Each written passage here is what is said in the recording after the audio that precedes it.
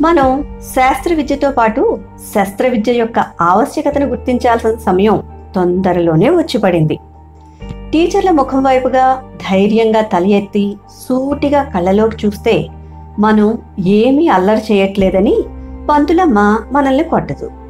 మనకన్నా అధికుల్ని ఫేస్ చేయటం ఎలా? పర్సనాలిటీ డెవలప్మెంట్ పాఠం వచ్చేసింది. ఇంకా కావాల్సింది మనతో సమానమైన వాళ్ళను అధములను కంట్రోల్ చేయటం ఎలా?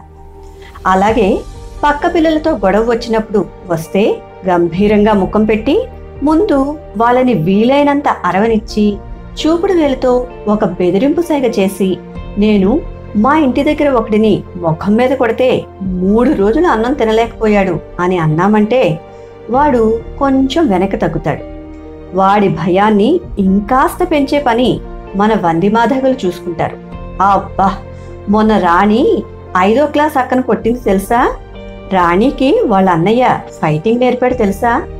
రెండు చేతులతో వాళ్ళ ఇంటి గేదె కొమ్మలను పట్టుకొని సినిమాల్లోలా ఫైటింగ్ చేసుద్ది. మా ఇంటిగాడేగా నేను చూసా ఇలా అయితే కొన్ని రోజుల తర్వాత ఈ ట్రిక్ పాతదైపోయి ప్రజల కళ్ళలో రాణి అంటే భయం తగ్గిపోయింది.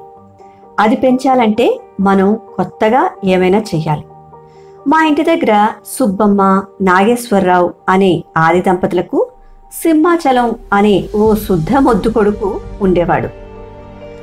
వాడు చదువు లేదు కానీ ఎక్స్ట్రా కరిక్యులర్ పనులలో దిట్ట. నాకంటే నాలుగైదేళ్ళు పెద్ద కనుక పోటీ లేదు. వాడిని అడిగితే పెద్ద గురువులా గుర్తింపు వచ్చిన సంబరంలో నేర్పించాడు. అది ఏంటంటే క్యాట్ బాల్ ఇంకా చూడాలి బుల్లి బుల్లి పలుగురాళ్ళు ఏరుకొని క్యాట్బాల్ అవి సంచిలో ఏకే ఫార్టీ సెవెన్ గన్ లెక్కన పెట్టుకుని పోతే నా సామిరంగా. జామకాయలు ఉప్పు కారం వేసిన మామిడికాయ ముక్కలు రాచూసరికాయలు వాక్కాయలు తేగలు చిన్ని చిన్ని జాంపళ్ళు మొత్తం సీజనల్ బడిపిల్లల తిండి అంతా రౌడీ మామూలులా వసూలయ్యేది. ఎందుకంతలా భయపడ్డారు అంటే గురి చూసి క్యాట్బాల్తో కొడితే చిన్న చిన్న గులకరాళ్ళు చురుకు చురుకు తగిలేవి. టీచర్కు కంప్లైంట్లు ఉండవు ఎందుకంటే రౌడీ రాజ్యంలో పోలీస్ దగ్గరికి ఎవరైనా పోతారా? విప్లవం అంటే ఎరగని సత్యకాలం పిచ్చి పిల్లలు పాపం. క్లాస్ అంతా నా కంట్రోల్లోకి వచ్చాక ఎప్పుడు ఎవరిని ఇంకా బెదిరించలేదు కొట్టలేదు. చక్కటి ఆకర్షణీయమైన కబుర్లు చెప్పి ఆకట్టుకునేదాన్ని. నాకు నచ్చని బుద్ధిగా చదువుకునే పిల్లలు కూడా నాకు తాయిలాలిచ్చి ఏదో విధంగా నా సావాసం చేసుకునేవారు.